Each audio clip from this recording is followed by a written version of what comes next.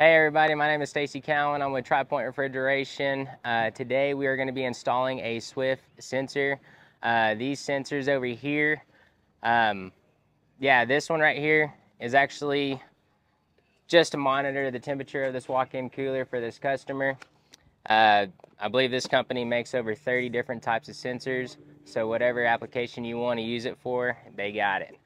Um, let's go and show you the installation process or where we're going to mount everything at.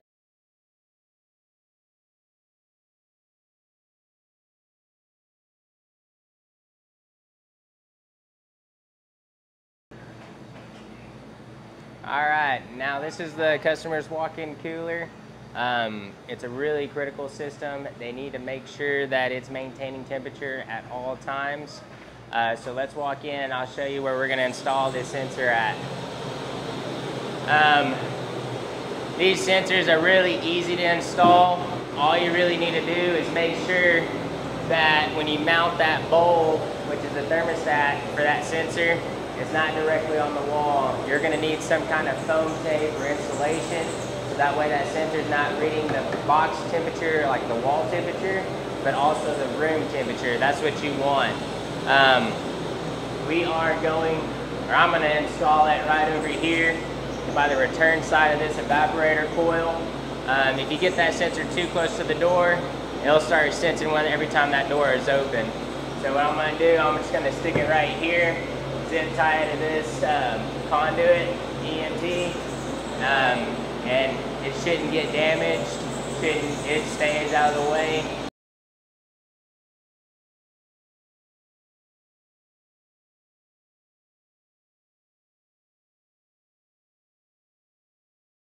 Now we're inside the walk-in cooler. Um, the one thing that I would take a picture of for your records is this model number and this HWIG, HWID, I'm sorry, um, which is actually on the front side as the sensor as well. Uh, this is how you're gonna find which sensor goes into what uh, box or equipment that you wanna monitor. So all I'm gonna do is pretty much use this uh, Gorilla Tape stick it right here on the back and then attach it to the wall. If I can get. I have done these for a customer where they wanted the sensors on the exterior side of their freezers uh, just so when they're changing the batteries, you know, in seven years, that it, they don't have to be inside of the freezer.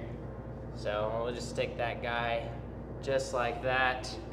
And I got some zip ties where I can zip tie this up here and away from the wall.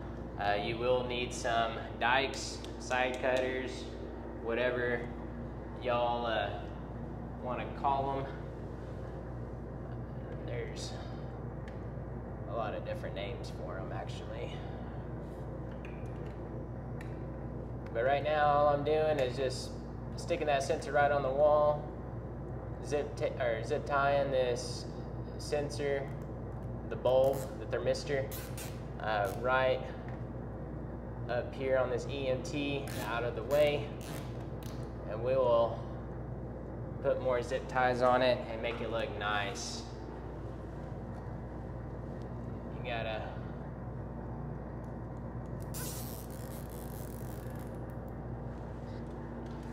make it look good.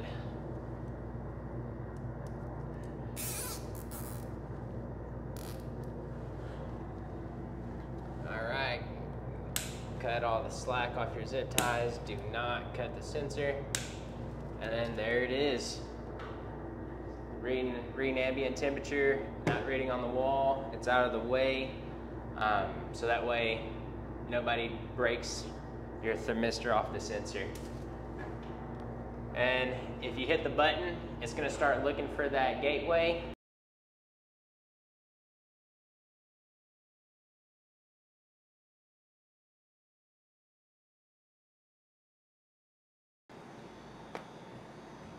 All right, now we're gonna start installing the gateway. I found a power supply up here if you're in a metal building, kind of like this one, and if your sensor is pretty good ways, 50, 75 feet, and you're in a metal building and you don't have very good cell phone service or anything like that, um, the higher you install it, the better it'll communicate with that sensor. Uh, so I found a good spot for it right over here. Um, just make sure, you know, if you don't hit any electrical when you're doing your uh, anchors, uh, sheetrock anchors for this guy. Um, this I would recommend not just doing a double-sided um, Gorilla Tape or any kind of adhesive like that. Uh, anchor these guys down so that way they don't go anywhere. Um, once they're there, you, you, don't have to take them down. So things I'm going to be needing for this guy, um, obviously is going to be a drill, impact, anchors. Anchors come with a drill bit for the size of the anchor that you're using. So this is what I'm gonna do is pretty much mount this guy where I know where it's at. Sweet. Oh, let me hang this somewhere out of the way.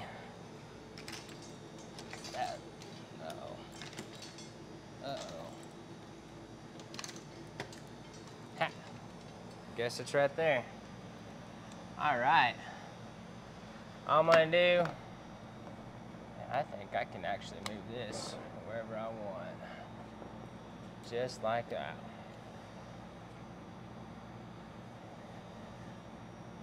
Mark on my holes.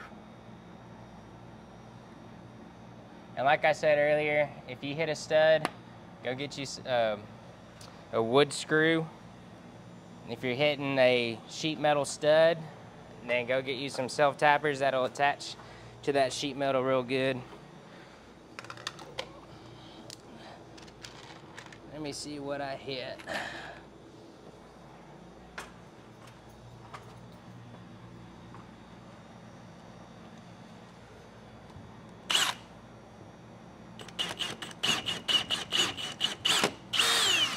Nothing there.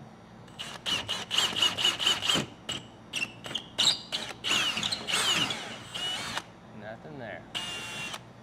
Cool.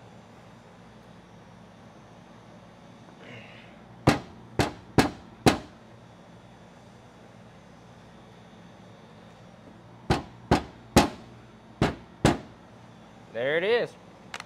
Anchor's in place. Come back down. Grab your impact with Phillips. And then we're good to install this gateway.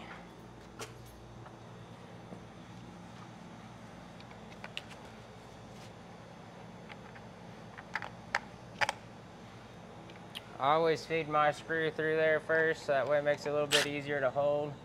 And just screw this guy a little bit in there, just enough so it won't fall on you. Then you can hold it up and get it ready for your second one. Just make sure you're not, you know, screwing down all the way where you break a ear off this guy. And that's it.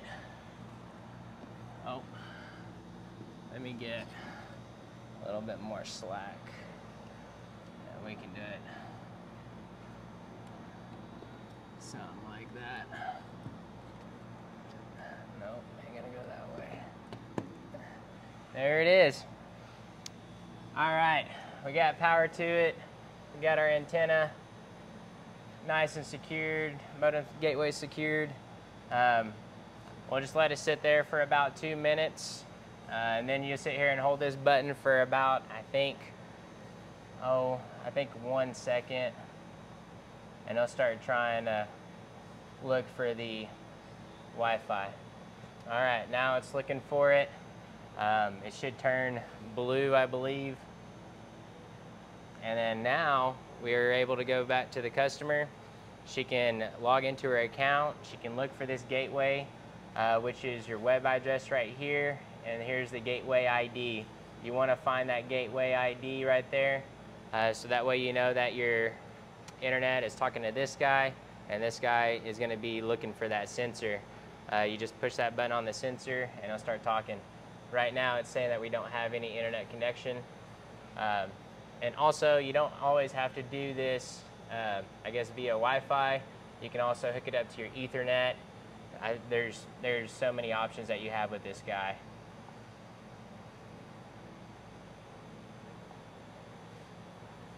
All right, let's scan this.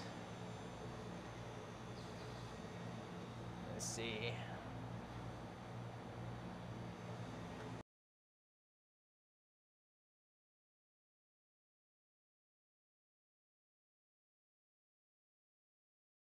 All right, now that we got the gateway installed, you will open up your Wi-Fi settings on your phone, connect to the device. Um, if it says no internet connection, uh, pull out your phone and go to your camera, scan the QR code right here, and it will bring you up to this page. And this is, and from this point, this is how you'll set up that guy to your Wi-Fi.